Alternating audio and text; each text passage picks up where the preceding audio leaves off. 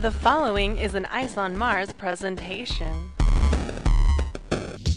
Let's talk about the movie with the line, I'm not a citizen, I'm a rebel. It's not V for Vendetta, it's the She-Ra movie. What the fuck? Film.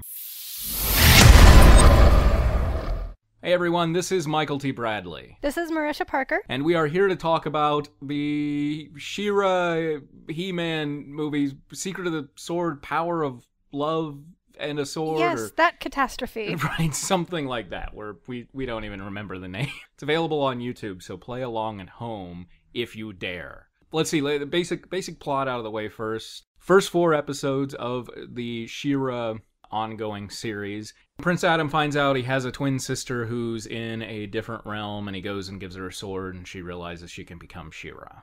yeah, that's that's a pretty quick overview. There- Let's go ahead and start with our what the fuck moments. All right, I uh, let's see here. I'll I'll start this out. I love the line, "Not another door." I liked the horde of robots wielding Hitachi magic wands. He-Man punches a fucking tank.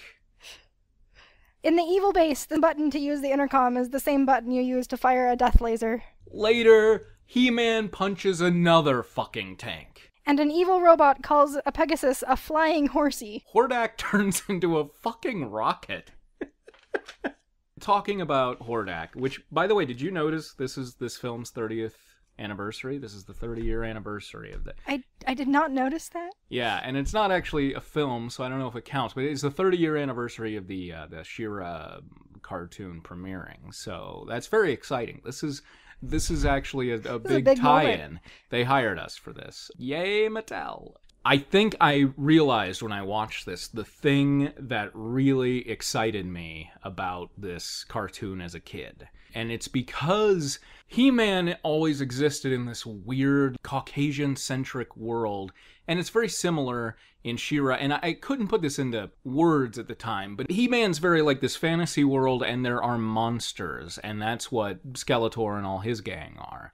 She-Ra's world, I- Etheria, was that her world? Or- yeah, that was hers. Etheria is a world in which, you know, Sauron is one, essentially. It is a world in which the bad guys are the ruling power. And they have all this like complicated technology that isn't as effective as it should be, but it's but it's pretty cool looking. Yeah, I definitely want to talk about what kind of engineer Hordak has uh, here in a bit. Right. But but yeah, first the um uh, but but just to get that out of the way, that was I think that was what drew me to this series. And if I remember correctly, pretty quickly the series devolves into basically just a cheap He-Man knockoff except with a girl, but I really liked that aspect of you know, we're the rebels rather than we're upholding the social norm. So that was what drew me into that. Did you seeing it through that lens are you like, "Oh, this is a cinematic masterpiece now?" I well, yeah, totally. Like looking at it, I mean, I can see your your your critical analysis is right on.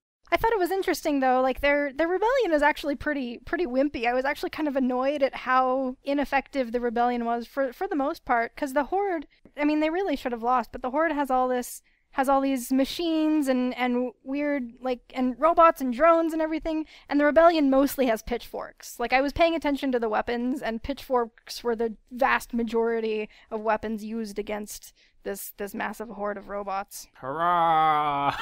yeah exactly I, I really think that the rebellion kind of talked themselves out of a lot of stuff. I think my favorite example of that was when they were like, "Oh, we can't go up against the harpies. They're so powerful." And like literally She-Ra and He-Man trick the harpies in like a 5th grade maneuver and they're just gone. You know, they never get back up from that even though they just smashed into each other. Well and that whole part of the movie too was kind of strange because it didn't have anything to do with the rest of the movie and it only lasted like 10 minutes Yeah, well, I guess it had to do with the rest of the movie in the sense that they rescued Angela, the queen of the land, in order who to. also wasn't ever mentioned though before like that happened an hour into the movie and an hour into the movie we find out that there is a queen to the land who needs to be rescued but like she'd never been mentioned before Now, I, to be fair, it is four separate episodes that are just kind of cobbled together. Which did you watch the director's cut or did you wimp I- out and watch the regular version? i really don't know i just searched for She-Ra on YouTube and clicked on the She-Ra movie, and that's that's what I watched. The the director's cut is an hour and 36 minutes as opposed to the hour and 22 of the regular one. So I don't know. Maybe maybe things I'll talk about you'll be like I, I don't I don't know, and we'll we'll find out that that Okay. scene was one that was cut. But the really quickly, Angela, the queen they rescue. I love the fact that He-Man takes the collar off of her, which was Im- impeding her powers, her magical powers, and then she's like, "Now I can use my magical powers," and she starts glowing, and you think it's going to be really impressive, and she cleans the dust off of herself with her magic. Yes, that's that's what happened. Let's talk about Hordak and how awesome he is. He is pretty cool, although I I kind of wish Skeletor had been in the movie a little bit more because they were cool together, like when they met each other. That was also very similar to the fifth Harry Potter book, in which everything was turned on its head. The whole finding out that Skeletor used to be part of Hordak's horde, and then Skeletor betrayed him. Right, because he was his own, like he was his pupil and learned under him, and then he went and re- like rebelled against his master or whatever. Yeah, there, and I love their showdown. At w- one point, Skeletor, I think it's Skeletor. It's either I don't know. I, probably it's Hordak who just says, "This is stupid." and I was like, "Preach on, brother." Uh, and and then after that, they work together and become chefs. That's awesome. But yeah, so Hordak has like unlimited magic potential. He rules this land. My favorite thing about him is how he mugs to the camera. It's it's weird because he's kind of uh, uh, self-aware, and Skeletor is. Let's put it this way: I'm in camp Skeletor. If you get my drift, uh, Uh. the Skeletor's camp. Oh, okay. I uh, uh wh- which I loved as a kid. Skeletor was always the best part of He-Man. There was a kid I loved Cringer because I was like, he like Garfield. Like, what is it with Okay, cats? can we talk about Cringer though? Because he was the worst character in the entire movie. I never watched He Man, by the way. I, I, I never saw that cartoon. I never. I, so I didn't know any of these characters. I didn't know anything. And, like, one of the first characters you meet is this awful, awful tiger. Like, he's so horrible. Everything about him is just the worst thing ever. I, I made a note and I was like, wow, Cringer, one note, one single note at all in the entire film, and that note is is can we eat? I, it's just I don't think he has any other line except like order food, Adam. I, yeah, wow. his his voice is just the worst. I just I just couldn't stand him. I loved Cringer as a kid, and I think it's because he reminded me of Garfield, because it was like a cat who loves to eat, and I like cats and I like eating, so ergo See, the, the thing I got from him was that he was just he's just a coward. Like he just runs away. That's like that. I thought that was his personality trait. W- it- f- How did you get that? I mean, just because he's named Cringer? I Well, no, like he. That's why he's named Cringer, right? Cause right. He, 'cause I'm he, teasing. Yeah, yeah. Because he, yeah, it, it, it is, it is. He should have been named like Eater Cat, though, as far as I'm concerned, because I, I think his cowardice comes out of the fact that he's like, if I were to die, I wouldn't be able to keep eating. I guess that's valid. Yeah, Cringer, Cringer did not live up to my memories. I was very sad to see that that little uh, that little memory destroyed. That that little uh, uh, dream dream killed there. So another thing about Hordak, I'm just gonna keep going back to Hordak. Basically, another thing about Hordak is I want to know who his fucking engineer is, because so many of his pieces of machinery that he uses are just batshit. They are. I noticed the technology in the show. Like it, it makes no sense. I was particularly mystified by their their big, huge weapon that they was supposed to be the big, Magna scary thing. Yes, the teleporter that was not powered by electricity, but instead by human willpower. Right. Like I kept I, I, I wrote I kept prisoners. thinking, you know, because there were what, approximately eight million characters in this show. I yeah, there were way too many. I kept thinking they would introduce like a mad scientist character or something who created this. And and the reason that I thought that was simply because Hordak doesn't say like it's my creation, you know. He's like, "Oh, it's Right. nearly completed." As if there is an engineer, and and so I kept waiting for that engineer to be introduced because I was like, "Who the hell is create?" Because first of all, it's created on it's it's it's run by willpower, and then it's got a really shitty capacitor. It's like one mm. strong willed peasant gives it like one And unless you're He-Man though, and then you have to be careful not to overload the machine. Right. And then when he says, "Oh, you have to be careful not to overload it," and it's like th- this capacitor is just shit, right? And then She-Ra deflects that beam that he shoots with a rock, and he's like, "Well, I've got time for one more shot," and it's like, how? You just made a point of saying that it had to be at full capacity to do this, Yeah. And then he can turn into a fucking rocket anyway, and it's like, well, if he can turn into a rocket. And a drill. Yes, and a drill, which I, I forgot because it's essentially exactly the rocket except with a little drill on top. Right. But, you know, flexible. Hordak just seems to be all over the map, and I, I found him fascinating. Also, did you notice that he gets a mini me for one scene? I, I didn't notice that. Okay, maybe that was one of the deleted scenes. Yeah, he gets a little imp who's just a little blue Hordak imp. They're by him kind of laughing at things for one scene, and it was like, what is this imp? Does is this a Hordak's baby? What the hell is going on here? We should talk about the material physics of the show, since we're talking about the technology, because, like I said before, the the rebellion has pitchforks, and they, I mean, I guess they they work perfectly well because they work just fine. But through the show, they're punching through things and like breaking through doors and shooting bow and arrows at things that are made out of like stone and metal, and then they just destroy them with with the the wimpiest of things. It did seem like there was maybe a disconnect between the script phase and the art phase. like Well, I'm perhaps sure there was of some kind. uh, Bo, who uses a longbow, Right. Uh, Very creative naming choice there.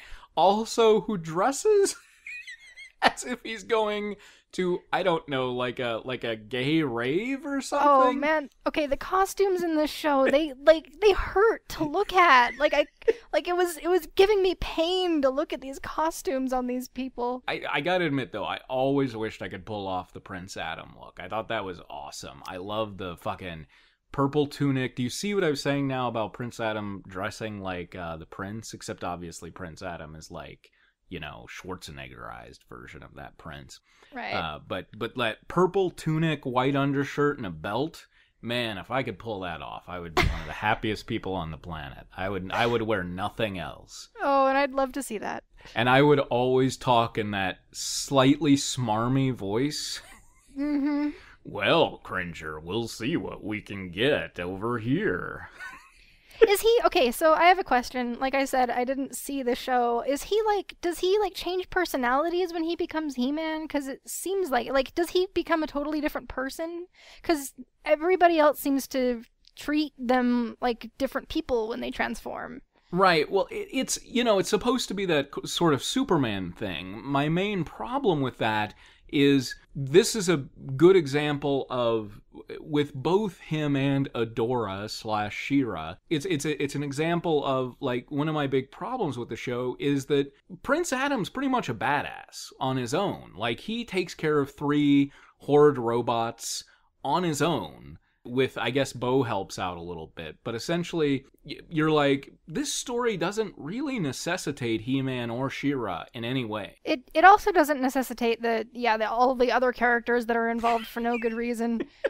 No, and some of them are really are all were also just really unpleasant to watch. Uh, They were just some of them didn't make any sense. There were that witch creature and the little I don't know. They were strange. Right, there's there's kind of a it almost makes me feel like maybe originally Etheria was meant to be more I, I don't know, closer to like a steampunk sort of world and magic wasn't going to exist there and then the magic seems kind of thrown in at the last second, you know? Like the ma- the yeah, magic does. doesn't really seem to fit. I think my favorite, talking about the bad uh, outfits for everybody, I think my favorite was Bo and the Sorceress. Favorite thing about the Sorceress, she sleeps in her bed wearing a giant bird headdress. And I'm like, who does that? That I you when would you ever get to sleep? Also, you take that thing off and her hair is gonna be all matted and full of maggots and shit. Ugh. She she was kind of weird too though cuz she got the whole story started, but there was really no reason for the story to begin. Like there was nothing They had they had to get He-Man into the other dimension somehow. It was very arbitrary. It felt to me a lot like the uh, the Dungeons and Dragons show where the dungeon master would be like, "Okay, now you got to go into this town and fight a slime monster." Uh, what? We don't go, you fuckers. We got 22 minutes to fill here. Right. The sorceress is kind of creepy also, like in general. You know, first off, she's just like, "Hey Adam, I want you to go through this mysterious portal, take a sword and eh, figure it out." And he's like, "Well, I don't really know if I'm go." And then and then you find out that she literally wiped the minds of everybody on Eternia. Oh Uh, yes, for for no good reason except that they kidnapped a baby and then got defeated. Like there was no reason to to wipe everyone's memories of that event, and yet for some reason they did. Yeah, it was within a generation because I mean, Adora can't be over 30, right? So Right. So it was within like I, I would say maximum 25 years ago that their entire world was also ruled by Hordak and Hordak stole a royal baby and so I don't know in order that the people wouldn't have to live with the guilt of losing Adora she completely wiped everyone's memory of the horde ever being there and it's like w- Yeah. what do the older people think about Eternia like 30 years ago let's just go through some characters and talk about them. Shadow Weaver to me seems like Orko's evil grandma, maybe. Oh yeah, she was she was kind of an interesting like sidekick slash counterpart. I'm not sure what because I mean he he did most of the the cool stuff, and she He being Hordak. yeah yes yeah. I don't know. For a second though, her relationship with Adora was kind of creepy. That was another thing that I think I liked about this was the fact that Adora was obviously in this like fucked up non-consensual mind control fanfic the whole time. Right. Maybe I'm crazy, but I, I also did feel that Hordak had some feelings for Adora. Like he had actually come to love her as a father in some ways. Well, I, I felt like it was more that he was kind of possessive of her. I guess we should describe for the listeners that the the plot that Adora goes through is that she grew up in this this evil compound essentially, Hordak's evil compound, not knowing that the horde was evil, not knowing that that she was on the wrong side or whatever. And so she gets to adulthood not understanding that she's on the wrong side and then He-Man comes and like tells her, "Hey, you guys are evil," and she doesn't believe him, and she has to go and find out on her own.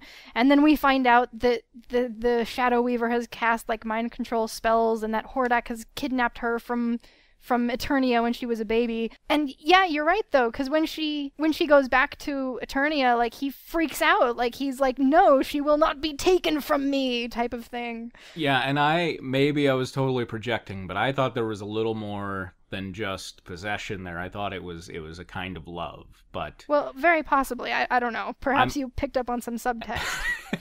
or perhaps I'm remembering later episodes, who knows. And and the thing that's interesting is that she isn't able to figure this out for herself because according to her she spends so much time alone in the fright zone practicing and I'm like there's clue 1 that your practice area is called the fright zone. right. Beyond that, in all their like group powwows, Hordak refers to their horde as evil. Right. He's not hiding this. I mean, is it literally like he tells everyone now when Adora's in the room, Ixnay the e- Villine?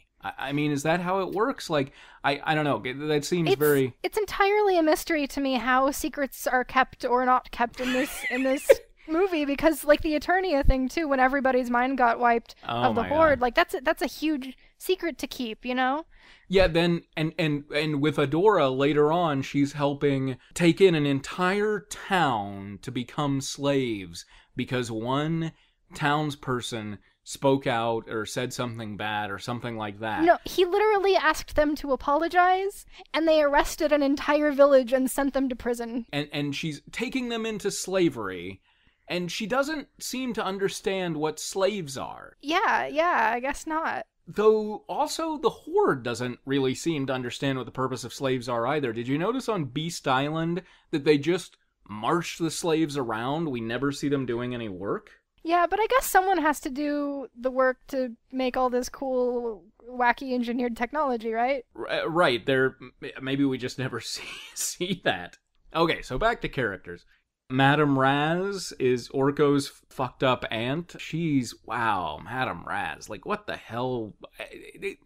I remember always like being angry at her as a kid. Why would you say sheep when it's obviously sleep? Like I does she have Alzheimer's? I don't understand. In general, wouldn't you think you would be terrified of having a magician who was that stupid on your team?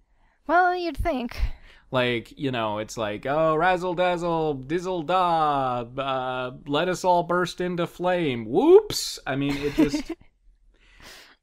a leech? What do you think of leech? I, which one is that again? I'm sorry, I couldn't. I couldn't keep track of these characters. There were so many, and they were so unnecessary. They just did not contribute to the story at all. They they did not. They're, and and my thing was like, they obviously at this point had like uh, uh, like you know 28 or whatever episodes ordered so why did they feel the need to introduce them all in these first Yeah, I few episodes leech was the the blue horde member who had the like suckers for hands and Oh, the one who like drained drained the whatever out of their heads. Right, the energy or whatever. And the thing that I loved is that the f- Leech figurine just had these like round suction cup things because they couldn't get the leechy like webbing in between the fingers to work very well, so they just put a giant circle over it. And then the cartoon just did that too, rather than showing what they were obviously going for, which I thought Maybe was it was just easier that way. uh, he had a lot of spit. He was he was very his mouth pull, full of a lot of spit. That was my note on him because he always he talked like my energy suction cup Oh, you, you do that very well. take you down. and Mantenna, oh my god, Mantenna! I fucking love Mantenna. I love that figure. You could push a little lever on on his back and his eyes would pop out. Had those four legs for no goddamn reason. Love that character. Yeah, he was he was really weird. I I liked him. I I just I I can't I just couldn't keep track of these. Although the ones I noticed were Glimmer was kind of interesting. She she like has a thing for He-Man, right? Is that a, is that a thing? Because she gave him the eyes when she met him, It certainly seems so. and she but she was also kind of useless. Like um when the suction cup guy like grabbed her head, she doesn't even try to get away or or like push him away. She just kind of stands there and lets it happen. It seems as if every character in here is capable of defeating any other character no matter what, but then a lot of times they just forget that they have magical powers in order for another character to show off. Yeah, and I guess that makes sense for how not thought out the writing was. Yes. Though this was co written by Larry DiTillio, who was one of, I think, the better writers on kids' shows at the time. He and Chuck Dixon were both. Their episodes mostly hold up pretty well, I think. And Do you think they're responsible for this? The I noticed a parallel between Star Wars, like the Luke and Leia thing was was very similar to to Adora and Adam. How they at first didn't know they were siblings, and then they found each other, and I thought there was some weird sexual tension there. But then, oh wait, they're twins, and then then like they they get to rule in separate places or whatever. It's very possible. Uh, I would not put it past him, especially considering this was made in '85. Jedi came out in '83, so Okay. Uh, so this was that was still fresh on everyone's mind. In general, however. Everybody seemed to have a little bit of sexual tension. Everybody rode so goddamn close to each other on horses or on ships or anything like that. And their costumes were all very like could easily suggest that as well. Watching this, you could very easily imagine a kind of uh, sex party where people dress up as He Man characters and put some oil on, and then just kind of, well, let me ride right behind. Oh, yeah, yeah, let's just get on the cat here. Yeah, that's it. That's it. Drive a little faster.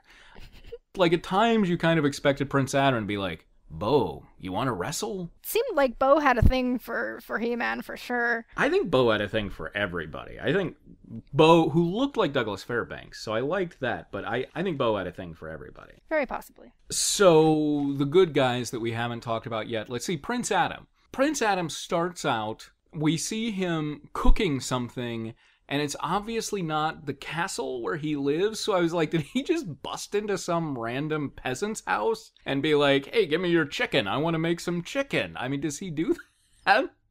Okay, so where where does he live though? Does he live at Gray Skull? Yeah, yeah, he lives with his parents. Yeah, Okay, because I I, I mean, thought I- it was odd too. Later, when Adora she finds so she finds this magic sword that's meant only for her or whatever, and like immediately she becomes loyal to Grayskull, which she's never visited and has no idea what it is. But from that moment onward, her phrase is "for the honor of Grayskull." In contrast to "by the power of Grayskull," which was interesting. I was wondering if there was some sort of like deep meaning we could glean from glean from that dichotomy. that is the big kind of elephant in the room that I want to get to in a in a in a little bit here. But quick note about Cringer. We've already talked about Cringer, but do you notice how creepy it is when he actually does eat? I I didn't notice that. He sucks the flesh off of a fish without actually eating it.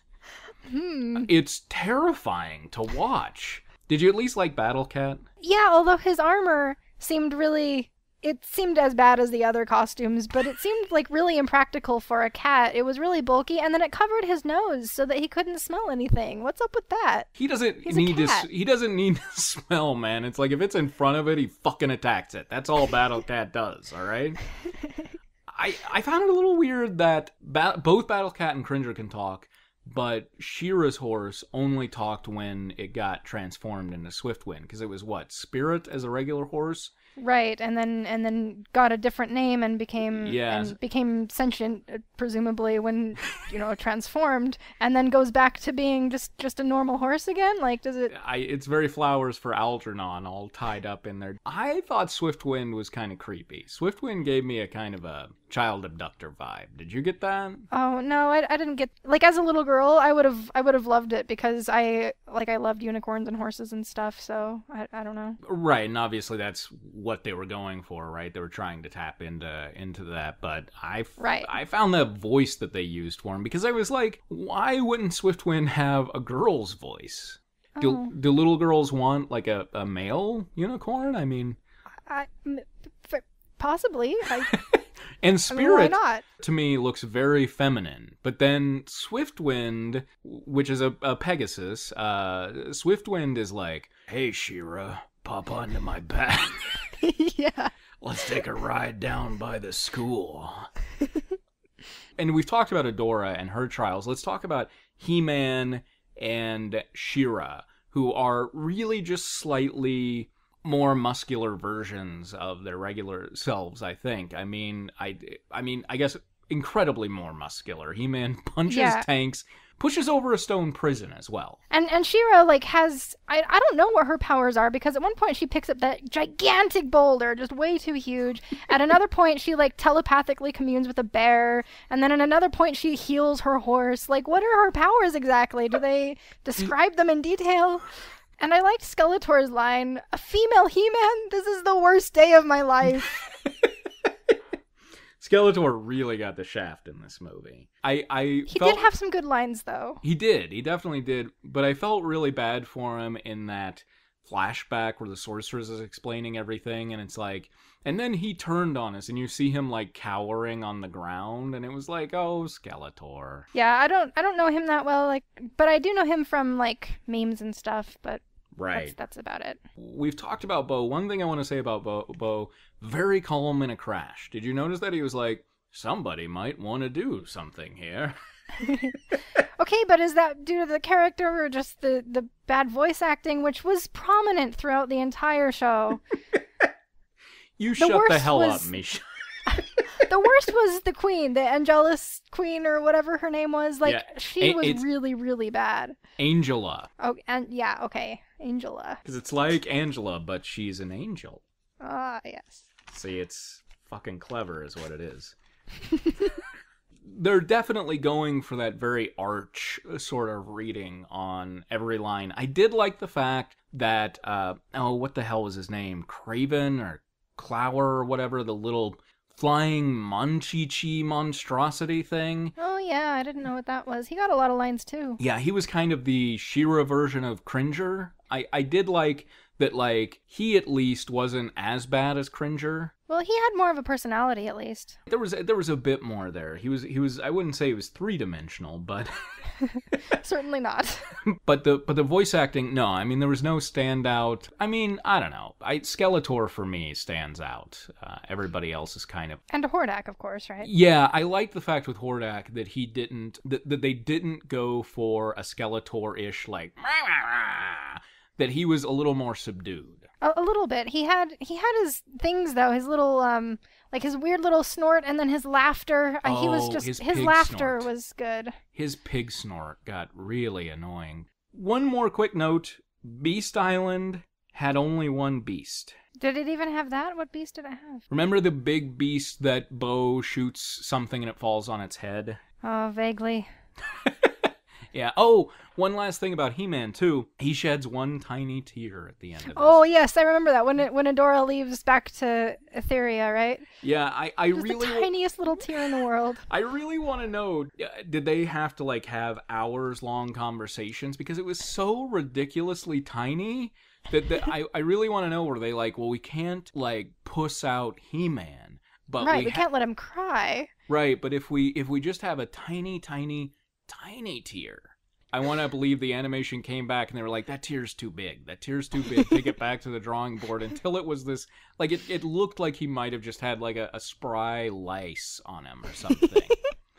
Yeah. so the the big thing that I want to talk about is this is ostensibly a story about a female superhero similar to Xena, right? This has the potential to be an incredibly powerful feminist statement, right? Mm-hmm. And I kept getting so many mixed messages. I wouldn't say it was anti feminist, but it really just seemed to kind of uh, blithely ignore the, possi- the, the opening that they had here to do such a thing. On one hand, I thought it was interesting that there was way, way more beefcake than TNA. Which I thought was That's kind of a, certainly true. unusual for an 80s cartoon, but I mean, when Prince Adam becomes He Man, he's just got a fucking, like, bared chest with a, like, a, a bandolier strap, and that's it. Yeah, between him and Bow, like they're they're like rippling muscles the whole time. It was very like they were very prominent. Whereas the women were all, uh, there were a couple of them that had, essentially they were wearing teddies, but they're, they weren't really pronounced, I didn't think. And for the most part, the women were wearing fairly sensible clothing, or fairly appropriate clothing, I felt. Yeah, for like in comparison. so it had that on one side coming down in a kind of feminist uh uh I don't know. I, I I don't know if that's necessarily feminist, but but at least not a uh, not an exploiting women sort of way. But then on the other hand, uh, it seemed you know you brought up the whole sword difference thing. He Man's is by the power of Grayskull, very masculine, uh, phallic sort of imagery, and hers is for the honor of Grayskull. Very you know She-Ra has to keep the honor intact. That's her job. That's the that's the woman's job is is Yeah, keeping, and that's yeah. The, you're you're right. That has ties to other like I, I don't I don't yeah I don't know what what the difference is either though. In like for the characters doesn't mean anything. No, not a bit. Though if She-Ra has premarital sex, she explodes into flame. Wish we could have seen that one. He man, my hymen, what's happening? Ah! You gotta wonder what that what that hymen is like for for like a superhero type person. yeah, she, well, she would have to have sex as Adora first, because if you tried it with She-Ra, it would be uh, only He Man would be able to do it, and that would be weird, right? Right. Yeah. there's there's the line that's not very ladylike which i can't remember i wrote that down but i can't remember who said it so i think it was a good guy though and i think that's why i noted it also at one point and this isn't necessarily pro-feminist or not this is just weird but he-man's like oh thanks for saving me from that horrible harpy or whatever the hell it was and she says what are sisters for and i'm like oh okay that's what they're for That's what they're for. rescuing you from murderous beasts. Good, I'll note that. he also later in that scene says, Quick, let's cross swords, which they don't know could do anything, and it seems a little yeah, I think there was innuendo there. There there yeah there could have been, but it you know it worked. It, it deflected the thing and killed the harpy pr- pretty easily. Right. but in general, I I felt like this could have been so much more empowering for young girls, and I just don't think it was. I think it was I think it was like, yeah, you could be like a strong, cool female warrior, but you're still like you're still no He-Man, you know? Can you describe what you would have wanted it to look like? Like for if for that if it were going to be more empowering, what what would that look like? I, I think if there were just one or two more lines, you know, her being like, "I'll show you what a girl can do," or you know, if if if Skeletor was like a you know a, a female He-Man, pa, or whatever, something like that, or, or you know, one of the bad guys said something like that, and she was like, you know, it's like uh, Nick Cage and Con Air, "I'm gonna show you there is a god," you know. Just, a, but I'm gonna show you what a girl can do, you know, something like that. A moment mm-hmm. like that, I think I think that's all that they necessarily needed. But instead, well, you could stay. You could say that without that. Like it's just more understated, which isn't necessarily bad because if you overstate it, then it's yeah. then it almost becomes. It, I I do I feel know. like possibly this was brilliantly feminist by understating it because, for well, instance, brilliant. I don't know about that. but you do have I believe the first person we see getting taken captive is He Man, which was pretty yeah. shocking. And then seeing him. Oh, yeah, and then he's on that bondage table for a while. That was fun. Right. There, there's a lot. There is just a lot of beefcake in this movie, and a yes. lot of uh, a lot of twisted sexuality, which I think must have been part of why I enjoyed it. But he's just there, like, oh, let me out, let me. Oh God, the, I need the oil. The oil so bad. Yeah, like we see several shots of him struggling against his chains as he's bound to this table, helplessly watching while the villains like plot their whatever they're doing. Right, and Angella is all like uh, with the giant slave collar around her neck in like a Korean pose, her head yeah. tilted to the ground very subserviently. All hope has been crushed from her. Dirt smeared and you know filth covered. I there there this that's why they don't mention her until Act Three because to bring up a woman in bondage too early would make it seem like that's all women are objects and and uh, they, they didn't do the like Adora gets kidnapped the men no yeah she had but she does I mean she does have to escape her social brainwashing you know pretty much which is I, I, I mean it has parallels also with uh, society nowadays Definitely. In, in certain ways. Yeah, she's essentially Shadow Weaver is giving her Cosmo and telling her this is how a lady should act. Mm. And uh, Hordak is her overprotective father, who's like you or, can't or whatever he is to her. Right, you can't you can't sleep with strange men. That's that's the that's totally the I don't know. I'm I'm really out on a limb here. I don't know. One last note on Hordak before we wrap this up. The Magna Beam's whole point that he's going to use it for is he's going to zap uh what is it brightwood forest or whatever? Zap the forest where all the rebels are and put it into like the lost valley or some shit like that which is this terrible place that's in the middle of nowhere or some, some... and he uses it to dispose of his garbage at one point. Does he? Like yeah like he had takes this non-working thing and oh, he's like we'll right. just we'll just put it here. Because you can never come back from that so i'll just put the garbage here you, would think you could have repurposed it, but I guess maybe they already got all the good parts out of it. But um, uh, the, my thought is no matter how kind of desolate a valley is, if you take an entire forest and put it in a valley, don't you just have a forest now? I I suppose so, but then like I guess you still never get out of it, and that's that's what he wanted. So maybe it was really far away as well. They never describe where it is either. It could be in a totally different dimension, you know, since they do that sort of thing. So who knows? I guess that's possible, but then that means all the rebels are in a dimension that's free of Hordak with a life-sustaining forest around them. It yeah, seemed... so we should have just let them win. Exactly. Yeah, the, this the whole rebel plan at the end was really just a shit plan. It was like if, if they would have just stayed out of the way then they could have lived happily ever after. so, Marisha, if you could change one thing about this to make it way better, what would that one thing be? Well, I think they should have drastically reduced the number of characters, and then I think you're right, put more time into developing the familial slash I don't I don't know whatever tension was between Hordak and Adora, so that whole story about Eternia and everything would have made more sense. Yeah, this this should be a story about Adora's awakening and finding out that her entire life has been a lie and and struggling with that concept, right? And instead it's Right. just it's He-Man punching tanks for half the story. Yeah, and she goes through her little like transformation of of the mind or whatever, but it only lasts like 10 minutes and then it's over. Yeah, it, it really doesn't have much uh, much staying power.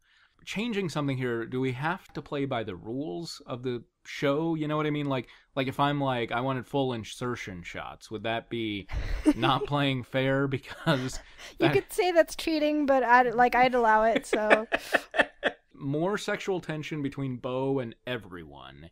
Yes. And more. Oh, where the hell was I going with that? Uh, um, uh, and shit. So, yeah, I, I think that's it. For now, this is Michael T. Bradley. This is Marisha Parker. And if you have watched it, if you haven't watched it, if you have any sort of comments or feedback, please write to info at iceonmars.net and tell us what you think. Thanks, everyone. Goodbye. You have been listening to Ice on Mars.